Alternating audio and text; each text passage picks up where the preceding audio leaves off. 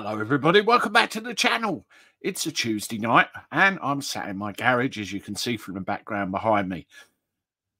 A few days ago, uh, Yvette Cooper, the Home Secretary, made a very pointed remark about our attitudes towards the police in this country. And she said, and I quote, the British public have lost respect for the police.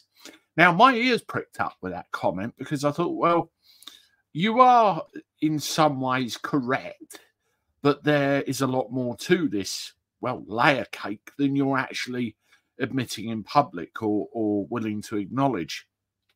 I did a video on this a few days back following it up. Here is the thumbnail for it about that comment, the comment that she made. And there you go. You can see over the title there.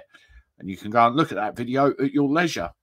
Well, looking at it, there were various comments that you made, and in this uh, climate we live in, I suppose, where we're all worried about what's going to happen with our free speech and our ability to say what we feel, say what we think. And I'll be bringing another video out about that tomorrow.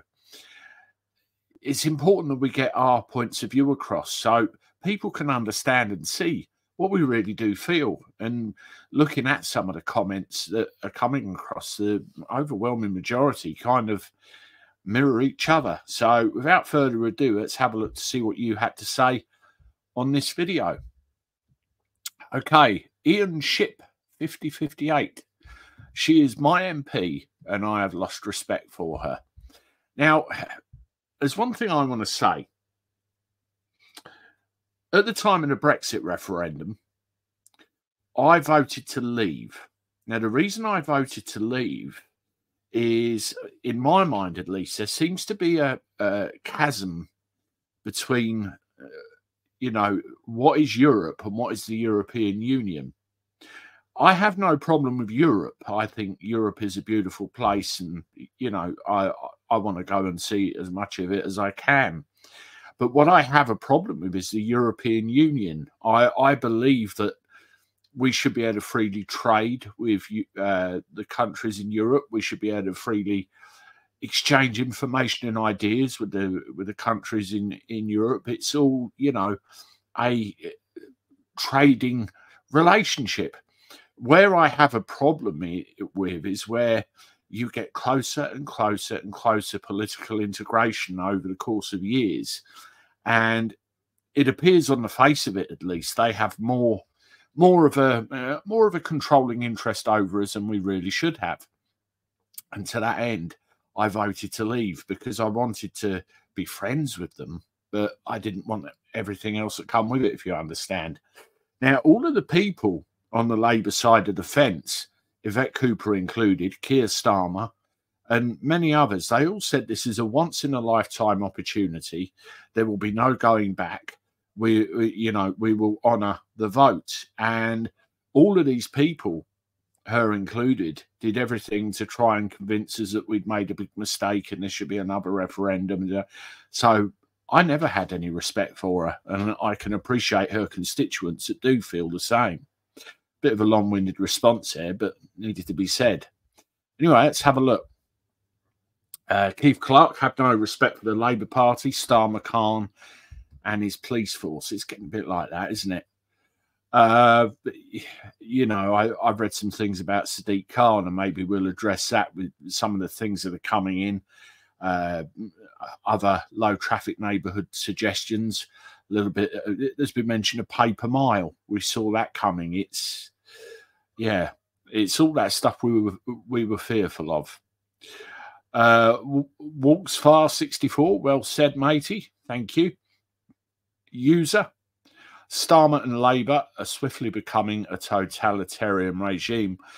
I think that the guy is uh, wary of criticism, wary of the fact that uh, we may have a point as a people that there are things going wrong in this country and they need to be acknowledged. There's a video I did just before this one, go and have a look at it, and you can see an excerpt in there of uh, an answer to an interview question, a straightforward interview question.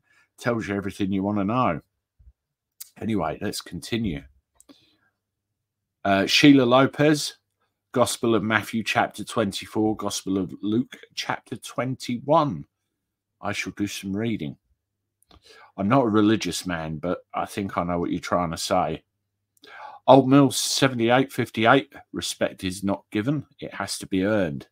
Yeah, too true. And uh, I've, you know, try try to live by that through my own life. Uh, John Cato, the frightening thing is that it seems nobody in government even thinks there is a problem until they accept that it cannot be fixed. Well, they're not accepting it. What the what the problem they're seeing is our reaction to the problem that actually exists and dealing with that. Then you're left with the same problem, aren't you? Another username. I hate it when YouTube does that. I don't know who I'm talking to then. Uh, Yvette Coma. Utter waste of space. Uh, I'm Kill 1339. She overtly anticipates the reason this Labour government will be ki- get kicked out. Not bad when it's only 40 days into its life. Yes, you can imagine four years, five years. Uh, Richie M, 100%. I'm pretty sure it's the politicians listening to the establishment. John Walsh, there's no use complaining about loss of respect. Government is fully aware. Of course they are. They are just too thick, devoid of any coherent answer to the problem. They apply their own kind of violence in retaliation. Remember, violence begets violence. They know the root cause, but they just put cotton wool in their ears and sing la la la, Scooby Doo, etc. What a sad lot. Yeah, exactly. And you know, one of the other things that they tend to do when there is a when there is a problem they either don't want to acknowledge or or they don't want to know exists, they legalize it. And then it goes away, then it's no longer a problem. I've seen that stunt pulled many times, and I'm sure we'll see it again. Respect is earned, not given. That's Susan. Again, that's a very valid comment. Uh, Melly Boy 58, we can have another vote. After all, they didn't know what they were voting for. yeah, that's an old adage, isn't it? They hate us for rumbling their expenses theft. Mm. That's going back a few years now, isn't it? Uh, Joe's web presence, all due respect to police, who do an incredibly difficult and dangerous job. But if they're not actually doing that job anymore, then what's left to respect? We see their fear and how they favour some over others. We see, see their obedience to their ideological indoctrination, like trust, respect is earned. And just like our politicians, the police have earned our deep and lasting mistrust and disrespect. You know, this whole thing that goes on with the police really horrifies me. Uh, I've said many times on this channel, my father's a retired police officer. He served uh, through the 70s, the 80s, and a little bit of the 90s before he retired. And, you know, they were always out on the streets. Everybody knew their local police constable. The local police constable knew what time the shops opened who ran the shops, what their habits were when the deliveries came in.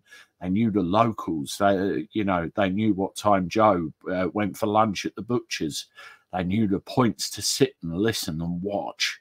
And there was very much the Ways and Means Act. And even the tiny littlest things that were out of place got dealt with before they were blown up into bigger things. And that generation of police officers saw this rot starting to set in and said, if you do this, if you act in that way, then guarantee you this will happen. And a lot of those things said a generation of copper ago are now here. And it's a real shame, a real shame. They weren't all good eggs, mind you, but the majority were. And they damn well did the job. And I'm telling you now, the streets were safer. Can we get back there? I don't know. Let's have a look at some more. D. Watercraft, I would like to comment my real opinion. So, can someone from government please publish a list of words I can say and type without getting arrested? I'm a non violent, kind person who has had their freedom of expression removed. Typing hurty words or stepping outside your door while a certain demographic protesting means I can get arrested. Somebody did actually get arrested for that, didn't they? going out their house to see what all the noise was about. But you know, I I can see why you feel the way you do. David Hamer, I lost it when the bent when they bent the knee to BLM. I lost it when they painted pathetic rainbows over everything. Stalin stormtroopers. Yeah. Uh, Craigie JP, Cooper is a very dangerous individual. She openly invites illegal immigrants into the UK and then shuts up anyone that disagrees with her views. Unfortunately, Labour have absolute power now, and the UK is fucked. That's the way it feels. There's, you know, there are ways of getting the message out there. Uh, and, you know, unfortunately, a lot of people will give up because they're too scared of the consequences. I, I had an interesting email uh, earlier this evening uh, along those lines, which I'll share with everybody tomorrow. So stay tuned. Uh, Paul Hinkley, sorry, I can't comment. I'll get locked up. There's another one. Uh, Labour politicians all to blame. That's Anthony. Uh, is that uh, El Tel? Uh, I feel sick to live in this country, and we've gone to the bottom of the pit. Somebody's put H. Not quite sure what that means. Uh, DDP84. Can someone not submit an FOI request or similar to get an answer in actual writing as to why certain individuals haven't been prosecuted? And in fact, where are all the brilliant legal minds who should be standing up against what is happening right now? Surely there's some sort of recourse for ordinary people who can't protest, who can't show sympathy to little children hurt and taken, who can't even post flaming memes, etc. anymore. Where's the protectors of our rights? I hear you. I hear you. That's, you know, this is the way it's going, isn't it? Uh, government control. We can't criticize. You know, I, I provide critique and I, you know, show your opinions. And, you know, you, you have this thing in the back of your mind is even that too far? I mean, there's, is it Section 10 of the Human Rights Act? We're, we're entitled to freedom of speech without prohibition. Hmm. Uh, Colin Kennedy, British public shall overcome this tyranny. I think we will eventually. We will. It's the way we do it. That's the important thing. Uh, express evangelist, I think, evangelism. The police have certainly lost it, but the respect for authority in general is completely undermined due to the abuse of the powers that are openly de demonstrated in front of us. There are simple rules to good balanced administration of good authority, but all those are being ignored as the big stick seems to be the only tool the current narcissist can apply because that's the only way he thinks. That's a very valid point again. Uh, Peter Fairfax, what happens to the guy who said cut the throats of the right? Yeah, he he's been remanded until September.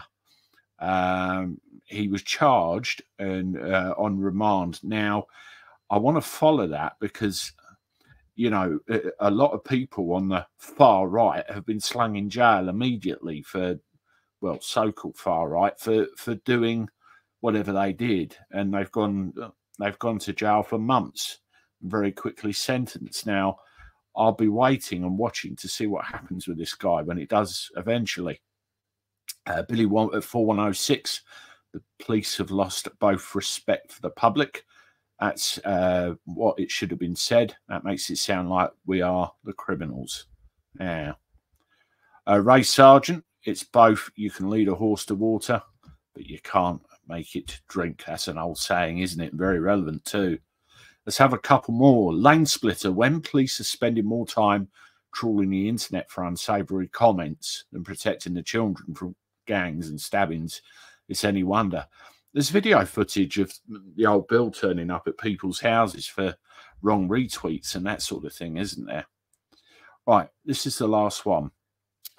Uh, our once great nation is the laughing stock of the world. Surely keeping our border strong and impe impenetrable should be the government's top priority. But illegal economic migrant young men who destroy their papers because they wouldn't qualify for asylum with them, are flooding our country and all at our expense.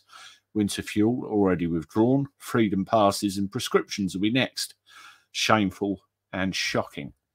Yeah, I mean, all of your comments very much echo one another. You're all feeling pretty much exactly the same from, you know, the, uh, uh, the way you're coming across.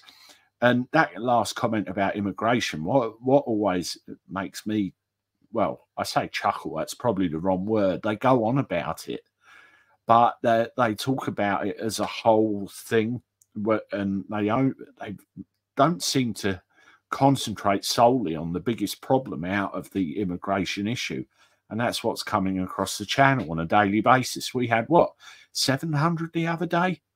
Nah, it's uh, out of control. And like one of the earlier comments said, they don't want to acknowledge it's a problem, which is a problem in itself. Well, that's that for that comment. Read back, everybody. Thank you so much for your support. We're closing in on 96,000 subscribers. So etching closer to that six figures, 100,000. And that's down to you with all your support and, uh, you know, appreciation you're showing for me and this YouTube channel. Please keep it coming hit the like button, uh, subscribe if you haven't done so. Also, share me on your social media channels if you have them. And as always, I look forward to talking to you again soon. Toodaloo.